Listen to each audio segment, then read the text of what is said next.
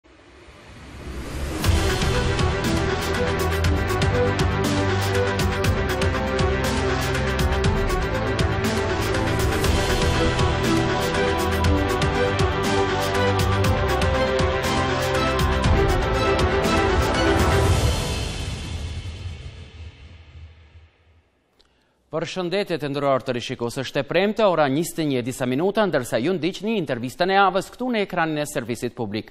Emisionin e parë për këtë vit ia kushtojmë plagës më të ndjeshme dhe më të dhimshme, ajo është sistemi gjyqësor, pra si dhe kur do të vendoset bazë themelore për të pasur hakikat drejtësi për të gjithë në këtë vend, ku të gjithë ata që po shkelin ligjet, do të vendosen jo vetëm para organeve të drejtësisë, por edhe do të vuajnë dënimin njësoj si çdo qytetar tjetër i rëndomtë, i cili nuk ka arritur t'ia hedhë sistemit gjyqësor dhe të lirohet nga akuza apo nga burgimi, siç e bëjnë kohëve të fundit disa ish-funksionarë të lartë të akuzuar për vepra të rënda penale.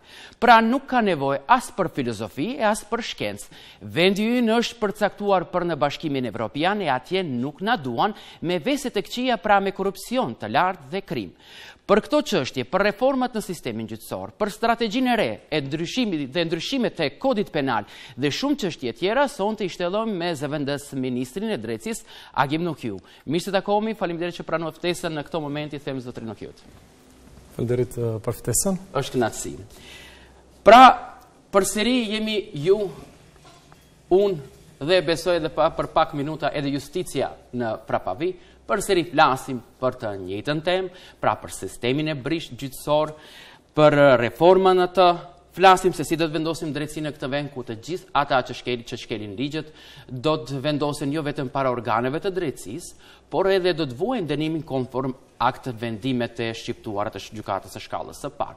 Do të flasim se si disa individë nuk do të kenë mundësi zotri Nuhiu që të gjejnë lidhje, të themi gjyqësore apo prokurore për të shpëtuar për të shpëtuar veten e kundërta e gjithë kësaj që vazhdimisht ne e bisedojmë 3 4 5 emisionet e fundit, ndodh e kundërta. Pra vazhdimisht ne ndër vite shikojmë se si disa individë lirohen nga aktakuza për vepra të rënda penale, gjejnë forma të ndryshme t'ia hedhin sistemit gjyqësor, të themi të shpëtojnë nga nga vendimet e shqiptuara gjyqësore, shofim se si gjykata e apelit mban me muaj të tëra disa lëndë për shembull të caktuar në në për sirtarët e gjykatës së apelit, ku kjo e fundit madje pas një kohe i refuzon kategorikisht vendimet e gjykatës së shkallës së parë, po ashtu zotri Nuhiu kemi edhe të dënuar në arrati, e gjithmonë e tjera, tjera, tjera, gjithmonë jemi në një rreth vicios magjik.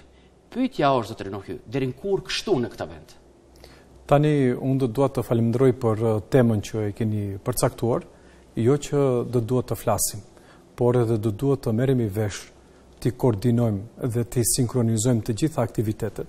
Kam fjalën këtu të tre pushtetet që burojnë nga vetë pushteti shtetëror, duke marrë parasysh edhe pushtetin e katërt, median dhe shoqërinë civile, po edhe çdo qytetar, sepse betejat për të sjellë drejtësi në vend nuk është vetëm e Ministrisë së Drejtësisë, sepse Ministria e Drejtësisë është e kufizuar, ka kompetenca ekzekutive, ne mund të iniciojmë ligje për të përmirësuar korpusin normativ. ose për të rindërtuar strukturën institucionale brenda piramidës së gjyqësorit. Drejtësia në gjyqësor dhe prokurori ka probleme. Nuk ka probleme në, në kuadër të Ministrisë së Drejtësisë, sepse Ministria e Drejtësisë kompetencat e veta, sa i përket çështjeve të përmirësimit të kuadrit normativ. Dhe atij institucional e ka bërë në mënyrë të suksesshme. Dhe ashtu do të vazhdojmë edhe të punojmë. Ju e dini, unë e kuptoj se doni të distancoheni mm. pak, po ne kishim... Jo, ne nuk distancohemi. Ne kishim rast konkret, për mu ende i paqartë, kur ne kishim këshill për reforma në gjyqësor, i kryesuar nga ish kryeministri Zoran Zaev, paramendoni. Tani, ju jeni si Ministri e Drejtësisë më kompetent, pasi që edhe propozoni ndryshime, për ma vonë do të bisedojmë këtu edhe në lidhje me këto ndryshime, deri kur kështu me këtë avaz të themi të lirimit të të akuzuarve, të mosvuajtjes së dënimeve, të, të themi burgimeve turistike, e kështu me radhë, deri kur kështu, a ka fund? Tani do dua të saktësoj edhe një herë që jo vetëm mediat, jo vetëm qytetarët, po edhe Ministria e Drejtësisë dhe qeveria e vendit është e shqetësuar me këto çështje brenda pushtetit gjyqësor. Edhe Amerika pushteti gjyqësor sigurisht, edhe partnerët tanë ndërkombëtarë. Dhe ne çfarë duhet të bëjmë? Ashtu siç bëjnë edhe shtetet e modernizuara.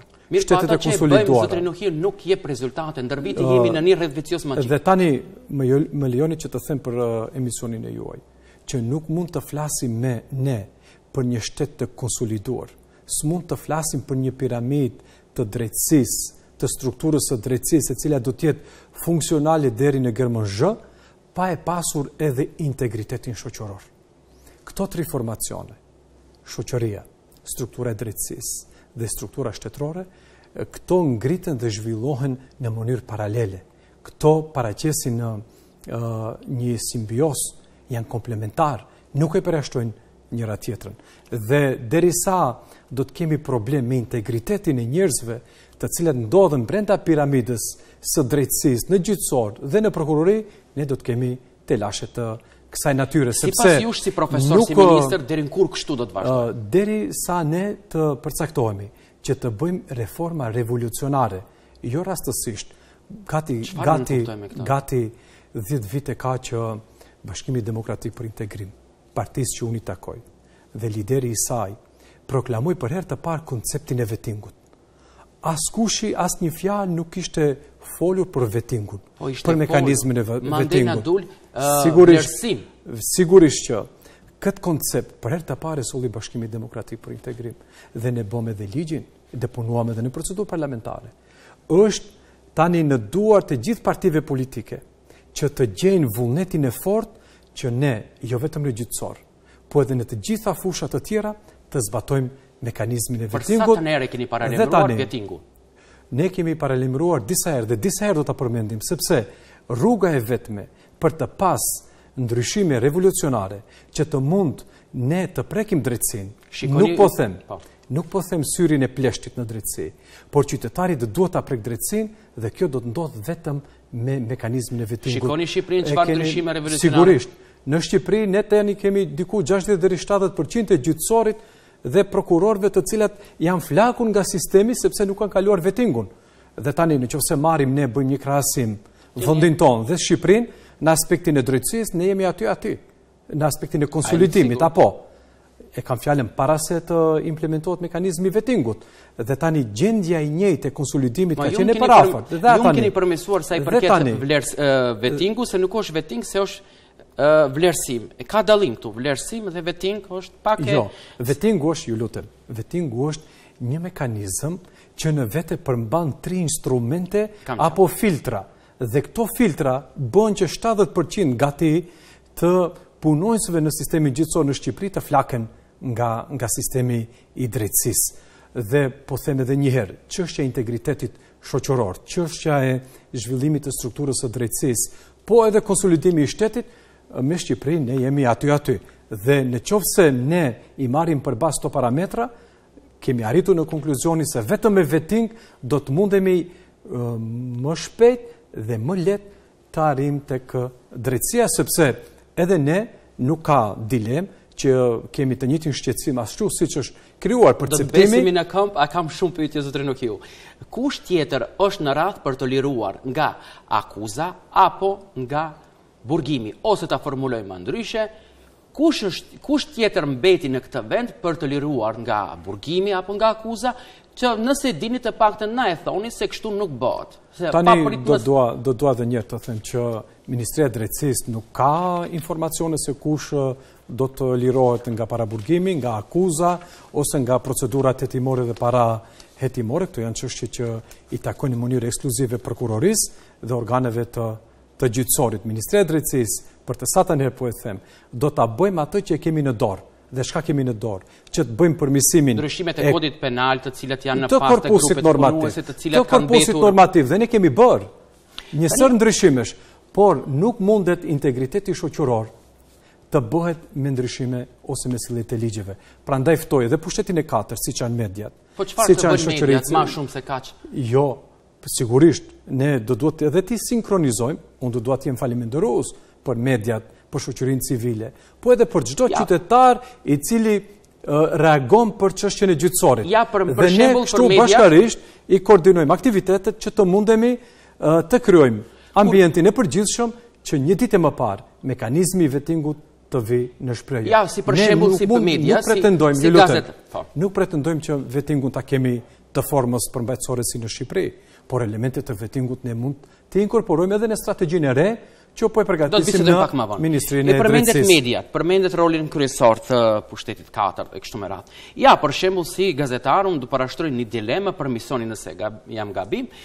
Autoritetet tona ende po e kërkojnë me fletarrest ndërkombëtar të dënuarin Nikola Gruevski për të vuajtur dënimin. Dhe, ai jo që vetëm që gëzon rejting më të madh se të gjithë politikanët sipas anketës së fundit, po edhe që kënaqet në Budapest, madje edhe thumbon nga Budapest, ku në statusin e fundit mes tjerash tha se viti i keq e pret Republikën e Maqedonisë së Veriut dhe disa persona. Kuptohet zotëri Nuhiu se ne nuk e dimë se çfarë ka dashur çfarë ka dashur të thotë autori me këtë, Por në avazin e lirimit të të akuzuarve, në avazin e të themi vjetërsimin e lëndëve, të burgimeve turistike, që iu mundësuan disa individëve, individëve mund të pyesim, ta ngrejmë këtë dilemë, edhe në prag të ndryshimeve kushtetuese të cilat ne pak ma vonë do t'i bisedojmë, mos vallë përgatitet terreni që edhe ai të kthehet në këtë vend, normalisht Të lirohet nga akuza apo nga dënimi, nuk e di si dhe si është e mundur kjo. Ndoshta organet e ndjekjes këtë këtë pjesë e dinë më mirë se unë dhe ju, po mos vallë po na kthehet papritmas, i lirshëm pa vuajtur dënimin, njësoj siç na u largua papritmas në mesin e kordoneve, kordonit policor. Tani unë nuk mund të të futem në mendimet psikologjike që mund të ketë çdo eksponent, po e thjeshtë është sigurisht Por unë nuk mund të jap kualifikime të natyrës politike. Do dua të them që pikërisht drejtësia nuk ka problem vetëm në Maqedoni, sepse ish kryeministri nuk kthehet për shkak të problemit apo defekteve në sistemin e drejtësisë në Maqedoni. Po pikërisht autoritetet e Budapeshtit e kanë bërë një gjë të tillë. Apo drejtësia në atë vend ku ai tani jeton, apo me ish Ishtë në shefat të... Po u largua si në dasëm, se Apo, nuk mund të them këtë se është larguar si në, si në dasëm, po, si në dasëm nga shtëpia e tij. autoritetet e, e Ministrisë së Mbrendshme ka dhënë deklarata dhe informacione për, për këtë situatë. Sa shumë apo... Jalkovi u lirua nga akuza. Ky fundit është pyetja, mos vallë e lirojnë nga Ka zbrazëtira ligjore, nuk mund të nuk mund të komentoj. Ju lutem, nuk mund të komentoj. Përpos që kam bërë thirrje disa herë dhe shfrytëzoj mundësinë që prapë t'u bëj thirrje autoriteteve brenda piramidës së gjyqësorit. Dhe këtu e kam fjalën për Këshillin Gjyqësor Republikan dhe Këshillin e Prokurorëve. Ne kemi njerëz aty. të cilët kanë kompetenca për të parë çështjet e keqpërdorimeve në gjyqësor dhe prokurori dhe jo vetëm të inicohet masë disiplinore. Ju lutem, çdo gjyqtar i cili keqpërdor pozitën e tij, do të duhet Këshilli Gjyqësor Republikan dhe Këshilli i Prokurorëve të ngrenë edhe aktakuzë në qoftë se ka konsumuar vepër penale. Dhe prandaj do dua edhe njëherë t'i ftoj, sepse ata janë kompetentë, kanë edhe tagër, po kanë edhe detyrim që të ngrisin edhe aktakuza në qoftë se janë konsumuar veprat penale nga këto keqpërdorime. Një gjë të tillë ne nuk e kemi në dorë dhe nuk mund ta bëjmë një gjë të tillë. Prandaj ne si Ministri e Drejtësisë u kemi dhënë, u kemi dhënë, ju lutem, ne u kemi dhënë mundësi, e kanë edhe gurin edhe arrën në dorë, Dhe tani ne nuk mund ta luajmë rolin e kryetarit të Këshillit Gjyqësor apo nënkryetarit të Këshillit Gjyqësor apo çdo anëtari të Këshillit Republikan. E kanë gurin në dorë, e kanë edhe arrën, tani ata do duhet të të veprojnë ose përndryshe mediat, ne dhe të gjithë qytetarët do të duhet të kthejmë objektivin pikërisht te këto dy organe të cilat kanë legjitimitetin real aktiv. Ose solucioni tjetër është si gjithë rinisë, i mbledhin valixhet dhe largohen. Tani sigurisht që... Po, më tregoni zotëri Nuhiu tre pika për të cilën neve nuk na shkon aq mirë me drejtësi në këtë vend. Shumë shkurtimisht. Tani do doja të përmend keqpërdorimin e bindjes së lirë të gjyqtarit. Gjyqtarët nuk vendosin vetëm duke zbatuar normën materiale ose procedurale për rastin konkret. E dyta? Po ata shfrytëzojnë edhe bindjen e lirë të gjyqtarit.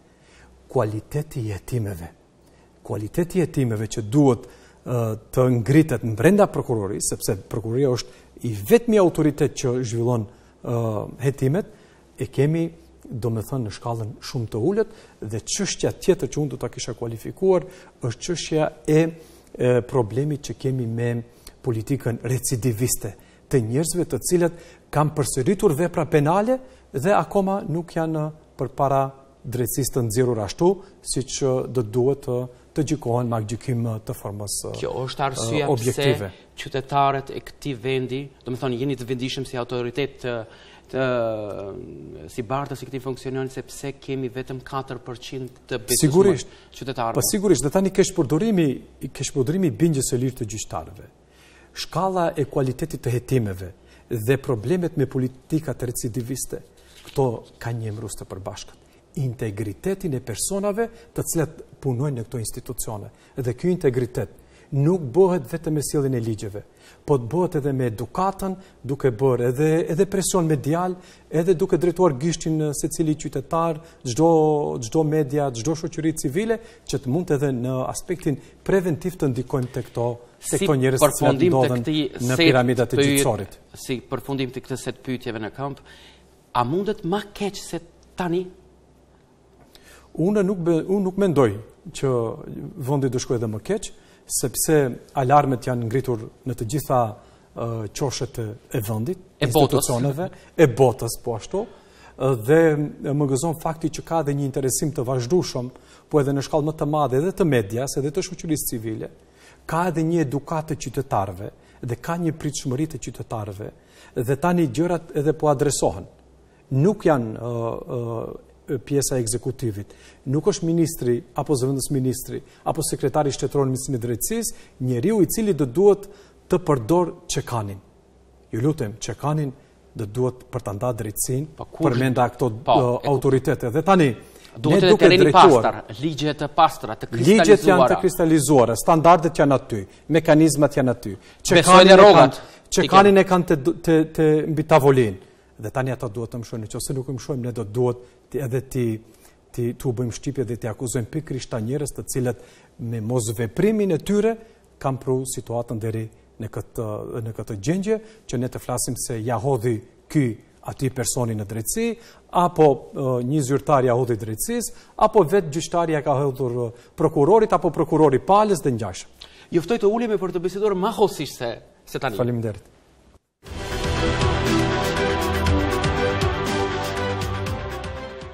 Zotri Nuhiu, të ndalemi dhe pak te ky zotëria mbrapa meje, mm-hmm. është Sasho Mijallkovi, pra si e vlerësoni vendimin e fundit të gjykatës së apelit ku ky i fundit u lirua nga aktakuza për përgjimet masive të mijëra mijëra qytetarëve. A ju duket kjo gjë normale?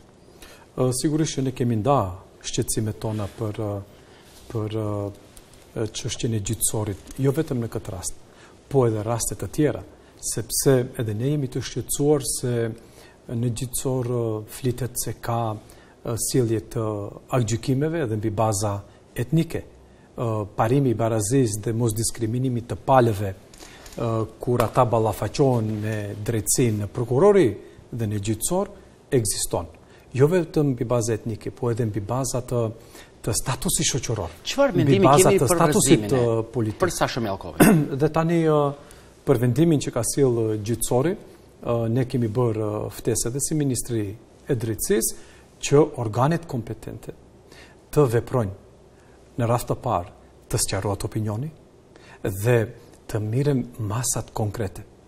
Thashë edhe paraprakisht, se një ndër masat konkrete nuk është vetëm masa disiplinore që mundet këshilli gjyqësor republikan të iniciojë ndaj gjyqtarëve të cilët kanë shkelur eventualisht cilëndo normë, qoftë procedurale, qoftë materiale gjatë vendosjes, por ata do të duhet edhe të shkojnë edhe më thellë.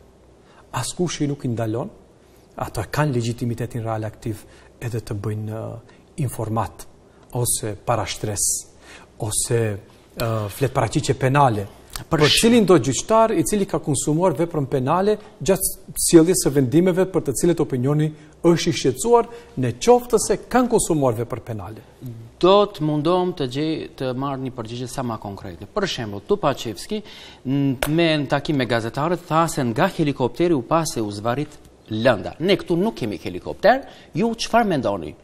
Kemi zvarritje të qëllimshme të kësaj lënde? Tani atë që duhet ta thuan institucionet për të cilat edhe paguhen, për të cilat kanë edhe tagrin. Më në e tha troqë. Dhe ato janë vlerësime më shumë të karakterit politik. Dhe tani, në mund të, edhe unë mund të them vlerësime politike. Por, ideja jonë është që këto hallka, me muaj të tëra, e ka këto hallka të sistemit të mos heshtin, po të flasin ata, Ne flasim, ne flasim për ligjet që duhet t'i sjellim dhe atë e kemi bërë. A e dini ju se gati 60-70% e legjislacionit të fushës së drejtësisë tani më është e harmonizuar me drejtësinë e Bashkimit Evropian? A e dini të gjitha mekanizmat të cilat proklamojnë standarde evropiane, tani më i kemi në funksion në vendin tonë? A ka zvarritje të qëllimshme në këtë rastin konkret të Target Fortesës nga ana e Gjykatës së Apelit? Tani unë prap do insistoj që nëpërmjet studios suaj, t'u bëj thirrje atyre të cilët janë kompetent. E kush janë kompetent? Këshilli Gjyqësor Republikan dhe Këshilli i Prokurorëve. Le të dalin dhe le t'u drejtohen qytetarëve, sepse tek e fundit edhe ata paguhen prej taksapaguesve qytetarë dhe kanë obligim ta informojnë opinionin në mënyrë të drejtë. Çfarë është vlerësimi i tyre profesional? Se ata kanë edhe tagër edhe detyrim.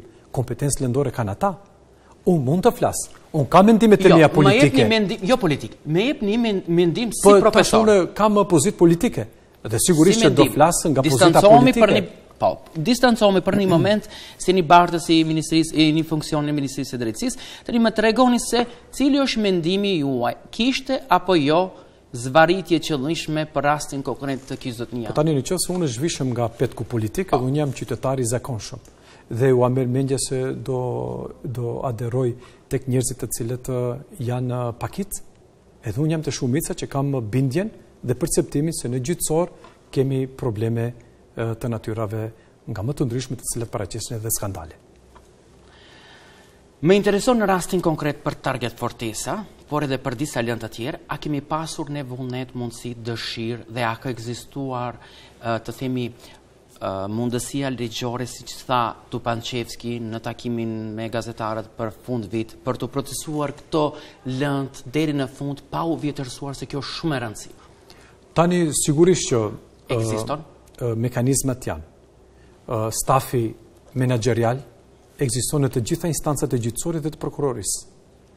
Tajmingjet që duhet të, të parashikohen, ato janë në duart e gjyqtarëve dhe unë ndaj bindjen se kanë pasur kohë të mjaftueshme që gjërat të azhurohen mbrenda afateve të caktuara ligjore dhe gjyqësore për çdo fazë të procesit gjyqësor. Kjo është bindja ime, ashtu siç janë të bindur pjesa më e madhe 90 e ca për qind të qytetarëve të vendit tonë dhe si qytetar edhe unë bëj pjesë në këtë shumicë. Si duhet t'ia bëjmë me zvarritjen, vjetërsimin e lëndeve si dhe për burgimet turistike, që shpesh e përmendëm edhe pak ma herët, që shpesh u mundësohen funksionarëve të akuzuar apo të dënuar, që qëndrimin në burg ta llogarisin si për zgjedhjen e dhomave të hotelit. Tani e thashë edhe paraprakisht që në fillim të Shumë Është ku gjenden ata zotërinj, në huj të përzgjedhin dhe tani shumë është e rëndësishme që të ne të mos lëm asnjë zbrastirë. Dhe zbrastirat prapë po e them, nuk i kemi në korpusin normativ. Zoti Rexhepi. Nuk i kemi ne në infrastrukturën, në teknologjinë mbrenda të sistemit të drejtësisë. Po ne i kemi tek integriteti. Integriteti është bindja, fisnikëria, bujaria e gjyqtarëve dhe prokurorëve. Dhe ne tani çështjen e fisnikërisë, së bujarisë, së integritetit personal, nuk mund ta bëjmë vetëm me ligje, ju lutem. Prandaj ne kërkojmë edhe fuqishëm. Fuqi ia kemi mundësuar. Po jemi paga kanë, pagat e kanë, pagat mira i kanë. Kushtet e punës i kanë. Në qoftë se shkojmë tani me objektivin e kamerës suaj në gjykatën e Tetovës, Por në të gjitha qoshet e gjykatës së Tetovës, kushtet janë uh, ideale. Flas kushtet materiale, infrastrukturë e njërën e tjetrën. Pagat i kanë, vonesa në pagë nuk kanë, buxhete kanë, staf administrativ kanë. Tani ne nuk mund t'ua ndryshojmë integritetin. Prandaj na duhet mekanizmi i vettingut, sepse me vetting, ashtu siç nuk kaluan 60-70% e gjyqtarëve dhe prokurorëve në Shqipëri, do të mund të dhe këtu të kemi të njëjtat rezultate. të njëjtën metodë, mënyrë si në Shqipëri për shkak. Po tani për të sjellë këtë mekanizëm duhet vullnet politik. Iniciativën politike subjekti që unë i takoj e ka, e ka bërë. E ka bërë më kemi pas në procedurë parlamentare ligjin. Dhe tani pse subjektet e tjera politike nuk e mbështesin jo vetëm në mënyrë deklarative për uh, opinione dhe për tryeza bisedimesh, por ata do duhet ta mbështesin me veprime konkrete. Keni dëgjuar ndonjë parti tjetër përveç Bashkimit Demokratik për Integrim që ka inicuar këtë këtë ligj? Nuk kemi dëgjuar asnjë lëndë të ketë kundër ndonjë funksionar të kaluar apo se aktual në bashkimin e Evropi, në bashkimin demokratik për integrim, që ka u zhvilluar një proces. Pse? Tani ka janë kaq aq të pastër apo thjesht? Shikoni, domethënë anëtarët e bashkimit demokratik për integrim. Jua merr mendja juve se sikur të kishin bërë vepra penale dhe do të ishin kursyer? Në qoftë se dikur, në një periudhë të caktuar, Zoti Gruevski e kishte pushtetin ekzekutiv, edhe ai ka pasur mundësi që të mbrojë bashkëpunëtorët e vet dhe nuk i ka mbrojtur, Ju e dini që ish-ministresha e Mbrendshme është prapa grilave. Ka procedura për funksionarë të lartë të VMRO-së. Dhe jua merr mendja që VMRO-ja ka kursyer anëtarët e bashkimit demokratik për integrim? I ka lëshuar njerëzit e shtëpisë së vet dhe tani po kujdeset për komshiun? Sigurisht që jo. Tani ne kemi funksionarë të lartë të Lidhjes Socialdemokrate, të cilët ndodhen në procedura të ndryshme gjyqësore. Do të mund të themi se s'ka krim, s'ka korrupsion në mesin e funksionarëve të policisë. Dhe tani dhe tani ata më shumë po kujdesen për komshiun, për partnerin e koalicionit se sa për radh njerëzve të cilët ndodhen në radhët e tyre, sigurisht që jo. Unë nuk dua të futem ka apo s'ka, dhe dua të them me plot përgjegjësi. Sikur dikush të mendojë që ka instrumente apo metoda politike që të kursehet ndonjë zyrtar i Bashkimit Demokratik për Integrim, e ka shumë nuk është. Mendoj që nuk është e saktë. Sepse ata të cilët e kishin në dorë pushtetin mendoj duart pushtetin, ata nuk nuk i mbrojtën njerëzit e tyre, e tani po do mbrojnë në do mbrojnë bashkimin demokratik për integrim. Zoti Gruevski nuk e mbrojti veten e vet, a i po- ka gjykime? Ama përveç Gruevski... Po është i dënuar. Zotri nuk ju. Përveç Gordana Jankulovska, kush tjetër është në Edhe Mile Janakieski. Është është i dënuar. Ish-kryeministri është i dënuar. Ai veten e vet nuk e ka mbrojtur, do mbrojë ndonjë anëtar të Bashkimit Demokratik për Integrim. Ju lutem. Ose zoti Zaev nuk e ka mbrojtur uh, bashkëpunëtorët e vet në qeveri, edhe do mbronka anëtarët e Bashkimit Demokratik për Integrim. I përmendi këto dy emra, Zaevin dhe Gruevskin. A ju kujtohet Zaevi kur ishte në opozitë, në një moment e Gruevski në pushtet, sa herë kishim të themi kritika të ashpra nga ana e Zoran Zaevit si kryetar i partisë opozitare aso kohë se gjyqësori nuk bën se është i, i politizuar e kështu me radhë dhe momenti kur ndryshohet pushteti i njëjti avaz vazhdon edhe me kryeministrin aktual. Domethënë vetëm dallon kur je në opozitë si kryetar partie dhe kur je në në pushtet. Tani kur je në opozitë gjoja asht nuk ka. Mund të flasish çfarë të çfarë të dojë. Ne kishim edhe parti politike që edhe shqiptare që dolën bënë stigmatizimin e kryetarëve të gjykatave, është i afërt me një me një funksionar të të Bashkimit Demokratik për Integrim apo është familjar i ndonjë zyrtari të lartë të Bashkimit Demokratik për Integrim dhe filluan t'i stigmatizojnë. Po nuk flasim për politikën ditore. Tani Edhe ditore po edhe për fenomenin, për fenomenin. Konceptuale. Cilado parti zotri nuk janë që do koncepte opozitare. Prandaj po them se gjua është pushtetin, ta merr pushtetin e para punë në listën e tyre është drejtësia, drejtësia, drejtësia, drejtësia, ne s'jemi të hutuar fare. Ë, do dua edhe një herë të saktësoj që ë kur je në opozitë, Flet me konceptin e opozitarizmit dhe them, gjoja asgjë nuk ka, po, por kur futesh në sistem, nuk është e lehtë, sepse ke mekanizma, nuk mundesh t'i drejtohesh aq lehtë një gjyqtari. Ja, për shembull të themi edhe gjyqtarët shqiptarë, të cilat janë uh, inkuadruar pas vitit 2001, pas luftës së lavdishme të konkrete, edhe za e vjë konë para drejtësisë, para gjyqtarit. A, mundet dikush që t'i lajmërohet në telefon, po ata kanë integritetin e tyre, ata kanë një pavarësi. Dhe çdo ditë kjo piramidë edhe pavarësohet. Prandaj ne insistojmë që me mekanizëm ligjor, e mekanizmi ligjor është vullneti politik, i cili do duhet të tretet në ligj, i cili ligj quhet ligji për vetingun, dhe të gjithë gjyqtarët dhe prokurorët t'u nënshtrohen atyre tri filtrave themeltar që i përmban mekanizmi i vetingut, dijen dhe profesionalizmin dhe atë që është e mbrendshme, ajo bujaria e gjyqtarit, A ka lidhje me botën e krimit, apo s'ka lidhje me botën e krimit, sepse në instancë të fundit, shtetin e përbën dija dhe pushteti. Pushteti dhe dija janë dy komponente që përbëjnë shtetin. Dhe tani këtë ne e kërkojmë edhe mbrenda piramidës së gjyqësorit, edhe pse nuk kemi drejtpërdrejt derën e hapur që të mund të edhe, edhe të ndikojmë. Ne mund të ndikojmë në gjyqësor në aspektin e këtyre përmirësimeve që po flisni ju, vetëm me sjelljen e ligjeve, Vullneti jonë politik do të duhet të materializohet në procedura kuvendore dhe ata ligje kur do të bëhen pjesë e qarkullimit juridik, do të mund të edhe atëherë të hapen dyert dhe këto gjyqtarë dhe këto prokurorë të ballafaqohen me këto filtra. Po gjithë këto vite nuk është bërë asgjë. Duhet jo, dikush t'i mëshojë tavolinës. Nuk po them që nuk është bërë asgjë. Pushteti ekzekutiv. Në aspekt të sanksionimit të këtyre lëshimeve. Pushteti ekzekutiv e ka bërë. Prandaj edhe tani nuk duhet në mënyrë të gabuar të drejtojmë kamerat dhe të bëjmë adresimin e problemit. Adresimi i problemit, ju lutem, është mbrenda te, te gjyqësori dhe prokuroria, te drejtësia në gjyqësor dhe prokurori, jo te Ministria e Drejtësisë. Ministria e Drejtësisë e ka bërë dhe e bën punën e saj. Ama ne kemi jemi dëshmitarë se në këtë vend partitë politike u dakorduan për të themeluar prokurorin themelore publik, prokurorin speciale publik, e cila e... Po, dhe njerëzit veshën edhe edhe bluzat me po, shefen e, e prokurorisë. Po, pastaj u zhgënjyen. Pse u zhgënjyen? Pra, për shkak të mospasjes së integritetit të kujt, të personit që ka udhëhequr me institucionin. Prandaj po them që integriteti ishte Fisnikëria, bujaria nuk mund të bëhet me ligje, nuk mund të bëhet me plan aksionale, po do duhet të bëhet ja me kështu si që bëjmë ne sot dhe do duhet edhe në mënyrë të sinkronizuar, të koordinuar, të adresojmë në vëndin e duhur, tek personat e duhur. Them, ata të cilat e kanë që kanë mbi tavolin, ata do duhet edhe të imshojnë tavolinës në fushën e gjithësorit për të gjitha rastet. Po ndoshta druajnë se dikush i thirr në telefon? Nuk ka që i thirr uh, askushi në telefon. Ndoshta ka presione indirekte. Jo, nuk Unë kam pas në këtë studio ish gjykatës të cilët kanë thënë ka pas presione në kohën. Unë kam qenë edhe në Ministrinë e Brendshme. Që të jemi real pak. 5 vite kam qenë në Ministrinë e Brendshme. 2 vite i bëj më shumë në Ministrinë e Drejtësisë.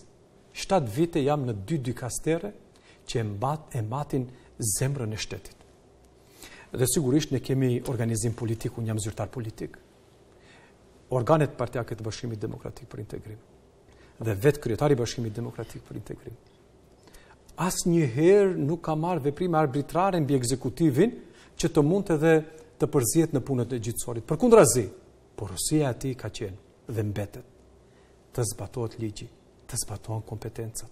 Ne jemi pushtet ekzekutiv, dhe ne mund të flasim hapur përpara qytetarëve, sepse qytetarët kanë halle, ata ballafaqohen çdo ditë me, me drejtësinë, ata kanë nevojë ta prekin drejtësinë. Ju thoni se nuk ka presione, mirëpo, a ka sistem i meritokracisë në aspekt ai i cili e, dën, e dënon në bazë të provave dhe fakteve që ka guxim ta bëjë këtë, si në rastin konkret Gruevski se e përmendëm tre herë. A ka sistem i meritokracisë në thonjëza ku ai gjykatës nesër të avancohet si kryetar i Gjykatës Kushtetuese? Pikërisht ne kemi paraparë edhe mekanizma për çështje në... Derisa keni paraparë personi i cili e dënoi u avancu. Edhe këto mekanizma, ju lutem ta sqaroj, çdo katër vite i nënshtrohet secili gjyqtar. gjashtëdhjetë për qind marrim për bazë lëndët se si i kanë zgjidhur në pikëpamje kualitative dhe njëzet për qind në pikëpamje kuantitative. Dhe tani, a duhet ne përsëri të, të parashikojmë plane aksionale? Sigurisht, ja para disa muajsh u bë edhe zgjedhja e kryetarit të po. shefit të prokurorisë për krim të organizuar dhe korrupsion. Çka u bë me atë punë shumë blic, shumë blic. Nxorët fotografinë me me shefin e prokurorisë për krim të organizuar Islam Abazin apo jo? Se u bo një, një, një, një, një të themi bujë të themi mediatik, se ja edhe zotri Agim Nuhiu është uh, njihet të themi me Islam Abazin. A ishte fotografia juaj? A jo? Tani me çështjen e fotografive, jo vetëm me Islam Abazin, po, po edhe me... Kemi edhe bashkë. Edhe me ju, po edhe me funksionarë të tjerë dhe dikush uh, mundet edhe t'i keqpërdorë të krijojë... Uh, Fotografinë të cilën e publikuat, a ishit ju, a ishte Islam Abazi? Po s'kam qenë as unë, as Islam Abazi. Ajo fotografi ka qenë fotografi në Tiranë, uh, me zëvendësministrin e drejtësisë të Shqipërisë dhe me ministreshën e drejtësisë së Republikës së Kosovës. Dhe tani, po edhe me pas fotografi me zotin Abazi, po ne këtu jetojmë në Maqedoni. Njifemi të gjithë. Të gjithë njifemi. E rëndësishme është që, e rëndësishme është që, morën pjesë 160 prokurorë në procesin e zgjedhjeve. Ju lutem, ta kuptojnë edhe qytetarët.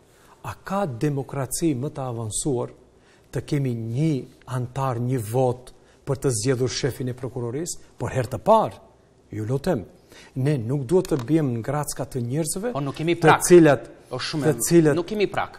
Edhe me katër vota është mundur ai të përzgjidhet. Pse nuk themi ne se është një shkallë më e lartë e demokracisë. Në rregull jemi këtu. Dhe tani 160 prokurorë kanë marrë pjesë dhe shumica kanë vendosur ka marrë 60 e ca vota në raport me kandidatët e tjerë. Nuk e mendoni se duhet të ndryshohet në një mënyrë mënyra e përzgjedhjes? Unë tani për tani jam shumë i gëzuar që vendi ka përparuar në këtë drejtim. Dhe më vjen mirë që sipas reformave apo demokracisë së drejtpërdrejtë, e cila është më e avancuar, është zgjedhur një shqiptar. Po ne nuk duhet të fshifemi apo të mos gëzohemi se një shqiptar qenka në krye të, të kësaj prokurorie. Përkundrazi, ne tregojmë që shqiptarët tani e kanë të theksuar edhe profesionalizmin dhe t'i dalin zot shtetit dhe kjo gjë më ka bërë të gëzuar. Edhe atëherë kur ka fituar, po edhe tash kur në mënyrë të suksesshme e menaxhon këtë institucion. Të kthehemi te burgimet, burgimet turistike që shpesh u mundësohen funksionarëve, çfarë duhet bërë në këtë drejtim, që të mos i mundëson të akuzuarve ose ish funksionarve të akuzuar, të dënuar, të përzgjedhin, siç thashë pak ma herët, burgun ose qelitë, sikur të jenë përzgjedhje e dhomave të hotelit. Qëfar duhet? Ishte një ide e përmendët diçka në takimin e fundvitit. Çfarë duhet bërë në këtë drejtim? Tani, shikoni, pra po them që nuk ia hedh politikani gjykat, gjyqtarëve dhe prokurorëve mbrenda gjyqësorit dhe prokurorisë. Po vetë gjyqtarët që ia hedhin drejtësisë. Edhe në këtë aspekt, edhe në këtë drejtim. Edhe në këto drejtime. Sepse gjithçka varet prej vetë vendimit të gjyqësorit. Prandaj po them që reforma revolucionare që do të jetë edhe si preventiv për të ndryshuar atë atë shpirtin e mbrendshëm të gjyqtarit dhe prokurorit nuk mund ta bëjmë përveçse me mekanizmin e vetingut, me këto filtra që secili do duhet edhe t'i kalojë. Sikur më haroni... E përsëris edhe një herë. Po. Deri 70% e gjyqtarëve dhe prokurorëve në Shqipëri nuk i kanë kaluar këto filtra. Prandaj, ne mendojmë që shkalla e zhvillimit... Ama nuk është realizuar vetingu te ne? Po nuk është. Po prandaj po them që partitë politike, të mbështesin idenë, tani më të materializuar edhe në hard copy të ligjit për vetting, të hartuar nga Bashkimi Demokratik për Integrim. I kam edhe 29 vite deri në pensionim. Deri atëherë, a do të bëhet vettingu? Tani ne kur e kemi propozuar vettingun, se 4 vite kaluan. Ne dëshirojmë dhe kemi të parashikuar që në një periudhë të shkurtër të sillet ky ligj dhe të fillojnë mekanizmat edhe të funksionojnë. Sigurisht që çështja më delikate në shtet mbetet pushteti gjyqësor dhe ne si njerëz që merremi me politikë, që jemi në krye të pushtetit ekzekutiv dhe që kemi mundësinë që të sjellim këtë mekanizëm do duhet ta bëjmë. Mirëpo nuk mund ta bëjë vetë Bashkimi Demokratik për Integrim. Thashë para 10 vitesh për herë të parë Kryetari i Bashkimit Demokratik për Integrim e ka përmendur termin vetting. Askushi, asnjë fjalë nuk kishte folur në vendin tonë. Ju lutem se tani e kemi ligjin gati. Ne jemi jemi koshient që partitë politike të tjera, forcat tjera politike, sepse vetëm Kështu do duhet edhe të, të shikohet çështja e implementimit të mekanizmit të vetingut. Pse ende nuk më përmendi ndryshimet e kodit penal në të cilin pritet të rritet lartësia e gjobave për keqpërdorimin e detyrës zyrtare dhe autorizimit, ku nuk do të ketë as vjetërsime të lëndëve. Çfarë bëjnë grupet punuese tek ju? Tani grupet punuese po punojnë. Çfarë po punojnë? Dhe tani po punojnë pikërisht për sjelljen e kodit të, të ri penal, për zgjedhjen e kodit, për sjelljen e kodit të ri penal dhe për kodin civil. Dhe tani çështja nuk është se ne nuk kemi sanksione penale. Ju lutem, çdo normë juridike Mirëpo duhet të nivelizohet e kemi thonë, se duhet të rritet lartësia e gjobave e paraparë dhe të themi pragun e vjetërsimit të lëndeve për funksionarët për krim dhe korrupsion. Kjo janë dy pika shumë të rëndësishme që mos të ndodhin si Mijallkovin. Sigurisht që edhe kodi penal, Nuk është një akt juridik që do të varet vetëm prej Ministrisë së Drejtësisë. Kur do futet në procedurë parlamentare. Po futeni pra. Dhe tani më dëgjoni pa.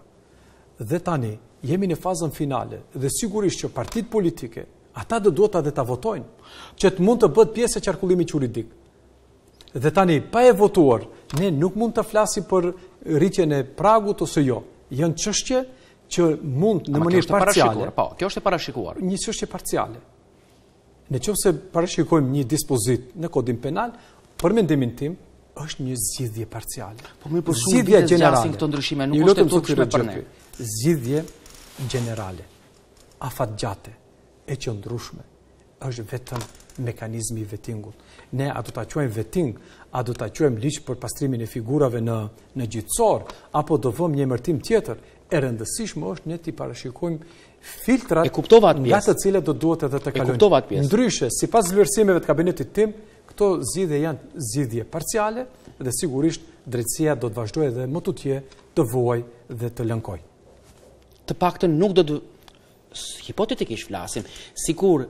Po në qoftë se është pragu, po them, ja, në aspektin figurativ, 10 vite, do ta bëjmë 15 vite. Po ata të cilët e kanë zhagitur për 10 vite, mund ta zhagisin edhe për 15 vite. E kam fjalën se nuk është defekti vetëm te aspekti normativ, po është ajo vetëdija e mbrendshme, te ndërgjegja, që do të duhet në qoftë se deri më tani, këta gjyqtarë. E thamë, e thamë. Nuk i kanë trokitur ndërgjegjes së tyre, atëherë ju lutem bashkërisht t'u trokasim ne në ndërgjegjen e atyre. Edhe atë mund ta bëjmë për mrekulli, pushteti ekzekutiv, mediat, shoqëria civile dhe çdo qytetar. Çdo gjë është tre ditë, nuk zgjat ma shumë në jo, përë. Jo, jo, nuk pajtohem, nuk pajtohem ashtu, sepse pas eh, tre ditësh prapë ne do duhet ta ngrisim zërin, në kontinuitet derisa ta arrim eh, qëllimin fundamental. Dhe sa do zgjasin këto draft versioni kur jemi duke biseduar për këto ndryshime? Sa do edhe sa vite ne duhet të ta fusim të paktën në rend dite në komisionin amë këto propozim ndryshime për kodin penal, po civil. Po janë gjërat kanë lëvizur, po janë zgjidhje parciale. Kishit shumë probleme me anëtarët e në atë grupën, sa e di unë. Nuk ka problem, ata kanë mendim, janë edhe ekspertë, janë njerëz të cilët po i shikojnë gjërat nga prizma të ndryshëm. Nuk ka problem të senatë. Ka ndikime nga partitë, kështu? Nuk kemi vërejtur një gjë, një gjë të tillë, mhm. sepse partitë politike do të mund ndikimin e tyre ta bëjnë në procedura parlamentare. Nuk kanë nevojë ta harxhojnë energji tek Ministria e Drejtësisë. A do të mundësojnë ndryshimet kushtetuese, marrëveshje disa individëve për t'u liruar nga përgjegjësia penale? Mund të ndodhë kjo në prag të ndryshime? Nuk, nuk mendoj, nuk mendoj për një gjë të tillë. Unë vlerësoj që tek klasa politike shqiptare nuk ka probleme sa i përket çështjes së ndryshimeve kushtetuese. Tani unë mendoj që tek klasa politike maqedonase ata do duhet të ulen vetë dhe të bëjnë një kontratë shoqërore të tipit të kontratës së Rusoit. Se kah duan ta drejtojnë shtetin. Ata nuk duhet ta harrojnë vitin dy mijë e shtatëmbëdhjetë, kur shteti ishte në udhëkryq, kur nuk e dinim se në çfarë drejtimi do shkojë shteti. Do të mund ta kishim parashikuar sot kur kemi luftën e rreptë në në Ukrainë? A do kishim fjetur ne të qetë këtu në Maqedoninë e brishtë? Duke marrë parasysh impaktin rus. Në qoftë se ne nuk ishim anëtarë të NATO-s, ne nëpër fshatra do kishim organizuar roje sot. Po sot secili fle i qetë në shtëpitë e tyre. Dhe prandaj edhe klasa politike maqedonase nuk duhet të të bëjë avantura kolektive të paparashikueshme apo të bëjë kopshte gjeometrike sipas interesave të tyre politike. Sepse ë uh, nuk luhet me pushtetin fisnik që ta jep populli. populli na ka dhënë pushtetin dhe ne si shqiptarë nuk kemi aspak dilemë që e ardhmja e vendit është në Bashkimin Evropian. Kurse tek maqedonasit ka kontradikta, ka dilema, ata duhet të ulen dhe të bëjnë një marrëveshje shoqërore në radhë të parë. Mendoni se do të kalojnë ndryshimet kushtetuese? Unë jam optimist se një gjë e tillë do të ndodhë. Ama tregoni më konkretisht, a do të mundësojnë këto ndryshime kushtetuese marrëveshje disa individëve, qoftë edhe pala maqedonase si e përmendët, që të lirohen nga përgjegjësia, disa individë të lirohen nga përgjegjësia? Nuk mendoj se shteti do të bëjë gjëra të tilla. Të flasim pak edhe për strategjinë e re e cila është në fazë përfundimtare, e cila përmes së cilës autoritetet e Ministrisë së Drejtësisë pretendojnë se do të përmirësojë pak gjendjen sadopak në gjyqësor. Shumë shkurt, çfarë strategji bëhet fjalë, kur e njëjta parashikohet të zbatohet, pra në cilën periudhë kohore dhe cilat prej rekomandimeve të Komisionit Evropian planifikohen të inkorporohen në këtë. Shumë shkurtimisht që të shkojmë edhe te Shtetet e Bashkuara të Amerikës. Tani sa i përket uh, strategjisë së re, uh, dikush do thotë jemi lodhur me strategji. E vërtetë. Dhe tani, jo shtetet që janë në konsolidim e sipër siç është vendi ynë, po edhe shtetet e konsoliduara gjithnjë hartojnë strategji sepse çështjet janë në evolucion e sipër. Dhe tani ne nuk duhet të rrim duarkryq dhe t'u themi qytetarëve e dini kur do të vijë drejtësia, atëherë kur do të bie shiu i kuq. Jo.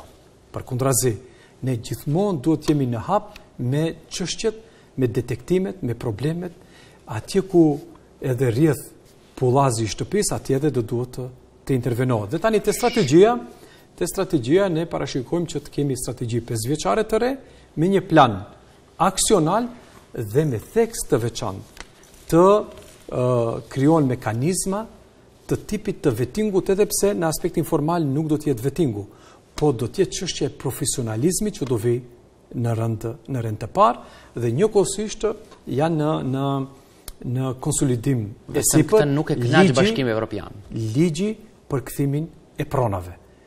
Pra, janë këto dy situata që ne do të kemi kujdesin e vazhduar sepse nuk do të kënaqet drejtësia në qoftë se do të zbatohet vetëm sanksioni penal pa u goditur edhe xhepi i paligjshëm i secilit personi i cili ka konsumuar vepër penale të jakës së bardhë. Mm, më përmirësoni nëse gaboj, njëheri qeveria përmes Ministrisë së Drejtësisë propozon të ketë edhe rritje të pagave të prokurorëve, gjyqtarëve, kryetarve të... Ashtu është në procedurë parlamentare? Për sa përqindje shumë shkurtimisht planifikoni të rrisni pagat dhe normalisht a mendoni se e meritojnë? Tani, pagat janë minimale, që rritja e pagave do të jetë uh, minimale, dhe tani a e meritojnë gjyqtarët. Po duke marrë për bazë perceptimin që është krijuar në vend, vetëm 4%. Ëh dhe kjo nënkupton se ata më shumë do duhet të, të punojnë që të mund edhe ta meritojnë pagën që në instancë të fundit edhe i ushqejnë kalamajt nga ato paga, të cilat i marrin nga taksapaguesit të Troç, ta çojnë bukën hallall. Ta çojnë bukën hallall te shpia. Mendoj se, mendoj se ka edhe më shumë nevojë për për angazhim. Për sa përqindje sa është, sa i bie kjo? Se tani, në varësi të koeficientit e pashun e pak a shumë. Tani nuk e di me koeficient as, nuk i di ato detaje, po është një përqindje e, e ulët për ngritjen e pagave. Sa e bëra përllogarinë unë për 4.000-5.000 denarë botja? Ashtu, pra sa i bie me përqindje nuk, nuk e mhm. di, por pavarësisht asaj pagat janë të mjaftushme që ata të, të jenë në krye të detyrave dhe t'i ushqejnë me hallall ashtu siç thatë ju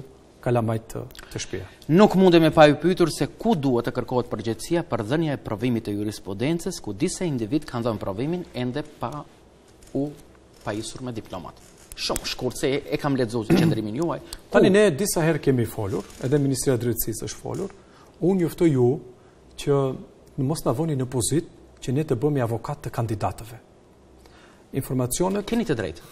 Informacionet që i kemi dhënë, ato janë që mund të japim.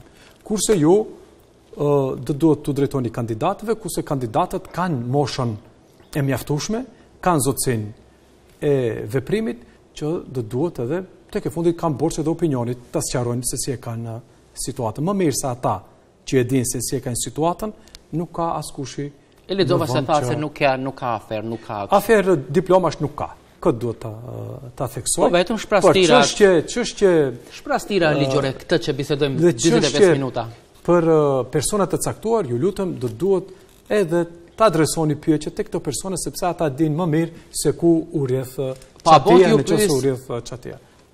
A thua s'i kemi dhënë fund kësaj praktike të keqe? Të cilën pasi u bobu për këtë praktikën e dhënies së provimit të jurisprudencës. Ka vite pasi më parë. Pasi Ka vite më parë që me ligj është përcaktuar se nuk ka askush të drejtë që të futet në provim të jurisprudencës pa i kryer ato kushtet ose konditat ligjore të shprehur sipas principit numerus clausus. Çfarë do ndodhë me paralajmërimin e Shteteve të Bashkuara të Amerikës për luftën kundër korrupsionit të lartë në mesin e funksionarëve? Si ju duket a do të dalë mbarë e mirë, a do të realizohet kjo gjë me ndihmën e autoriteteve tona për të vendosur sadopak rend?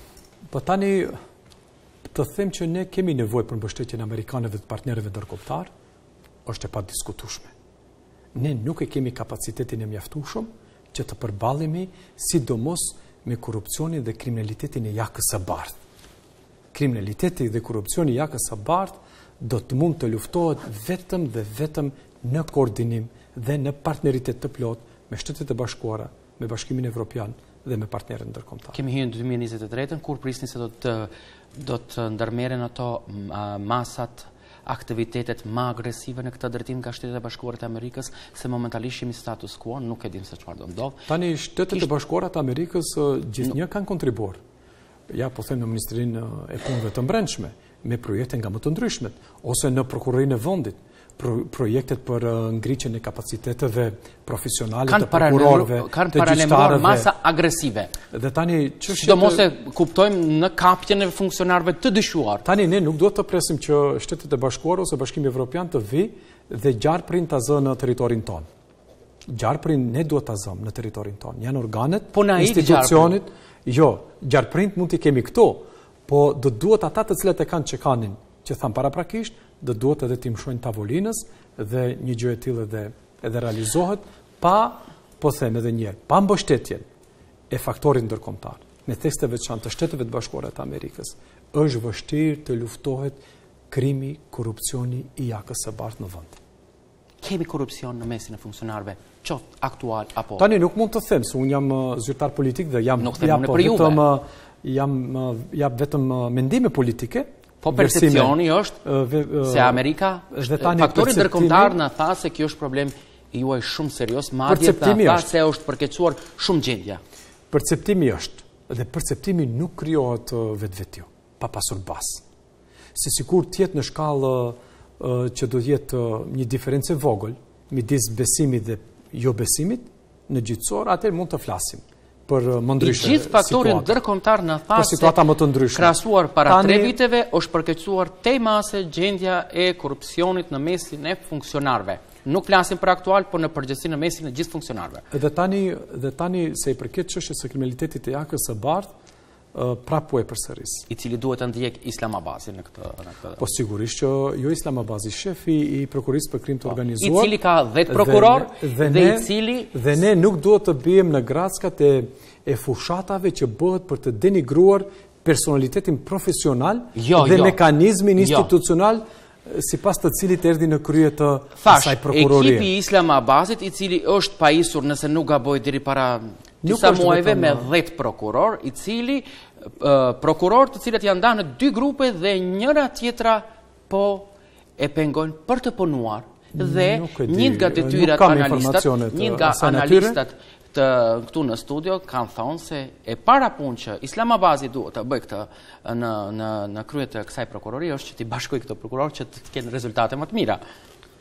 Tani unë nuk mund të flas për për këto situata që ju po ose ndonjë analist. Po ne ndjekim drejtësinë, ne ndjekim drejtësinë. Po ato analistë që kanë thonë sigurisht ata kanë vlerësimet e tyre. Unë do të doja të them se nuk është vetëm prokuroria për krim të organizuar dhe korrupsion e vetmja që duhet të luftojë Krimin dhe korrupsionin e jakës së bardhë janë edhe institucionet që realisht zbatuese. Ministria e Punëve të Mbrendshme mbrenda sektorit për krim të organizuar dhe korrupsion, a pak mekanizma ka? A pak task forca mund të krijojë? Apo policia financiare, drejtoria e doganave, apo institucione të tjera të cilat kanë kompetenca drejtpërdrejta për të luftuar krimin dhe korrupsionin edhe të jakës së bardhë? Tani më tregoni, nëse ekipi amerikan nis luftën kundër funksionarëve të korruptuar nga e kaluara apo nga e tashmja, supozim me një aksion të themi të madh për kapjen e tyre, a mendoni se do të nevojitet, do kemi nevojë të na ofrojnë edhe ndihmë një farë monitorimi ndërkombëtar për t'i çuar deri në fund këto procese? Tani të them të drejtën, nuk e di ka dy vite mos gaboj, që në Gjykatën Penale kemi një monitorim nga OSBE-ja të çështjeve gjyqësore, sidomos të krimit të organizuar, që i përcjellin të gjitha fazat e seancave gjyqësore. Dhe raportojnë po. Po flas në Gjykatën Penale dhe kjo është një formë e një monitorimi. Dhe sigurisht që mendoj jo, që Jo, unë them për formë monitorimi kur dy prokuror nga nga këtu, edhe nga një prokuror hetues nga Amerika, dalin edhe justifikojnë. Tani nuk mund të të them se si se si mund të të jetë ajo. A kemi nevojë? Tani a kemi nevojë? Po thashë nevojë kemi për të ndryshuar shpirtin, bujarinë, integritetin, atë ndërgjegjen e mbrendshme, për ligje, për mekanizma, ne nuk kemi nevojë. I kemi ata. Dhe tani, cili faktor, cili indikator do të mund të ndikojë në atë që është pjesë e mbrendshme shpirtërore e secili gjyqtar dhe prokuror, do duhet të jetë e mirëseardhur. Pra, çdo indikator, çdo mekanizëm që do të ndikojë për të përmirësuar integritetin personal të këtyre njerëzve, ne mendojmë se duhet të jetë e mirëseardhur si ndihmë. Zotri Nuhiu, unë kaq pyetje pata për këtë intervistë. Nëse keni diçka për të shtuare që mendoni se ndoshta nuk e kemi prekur, urdhëroni minutat në vazhdim janë për ju. Faleminderit. Faleminderit që ishit pjesë në intervistën e javës.